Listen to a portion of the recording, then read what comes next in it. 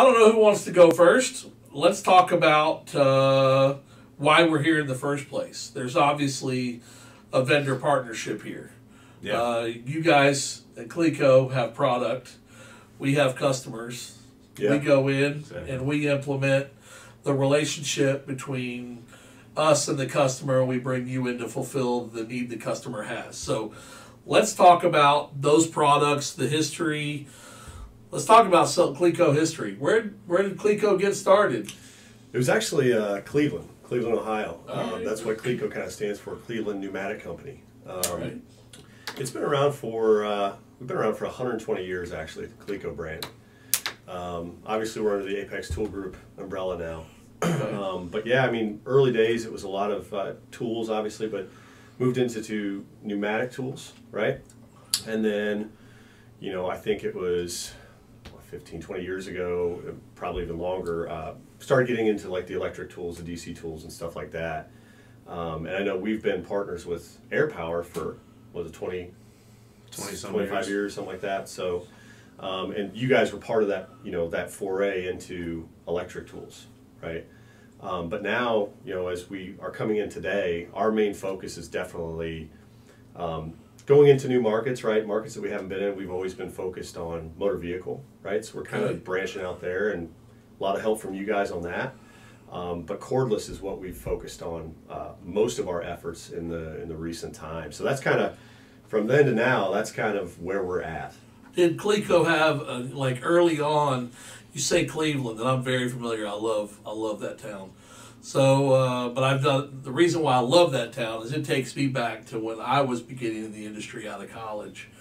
The first trade show I ever ever attended for work ever was surfing the surface finishing show downtown Cleveland in 1996. So it take that's that takes me way back to like the very first exposure into into industry. And and I was it was great but that's the city is a I have a lot of friends there great city. Um, but I want to say this was I know that you know plating is uh, was hugely impacted by that town through automotive.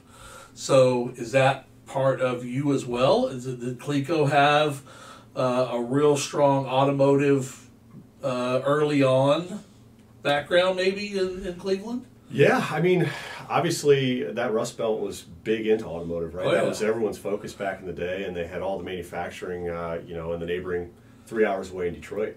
Know, the gods of chrome. Right, right, exactly. So, so no, I mean, yeah, obviously, the, you know, everyone around there was typically serving automotive customers, right? And Cleco was no exception to that. Okay. Um, but as far as the plating industry and all those things, I think, you know, if you look at the automotive industry, typically the, the suppliers to that industry set up shop right around there too. Oh, yeah. Right. So Yep. that was kind of the big thing. And, and, you know, Cleco's moved around. I know it's been in Texas. Now we're in Lexington, South Carolina, as far as where headquarters are.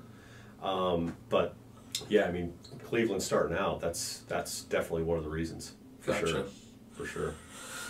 So uh, you want to touch a little bit of the history with Air Power in Cleco?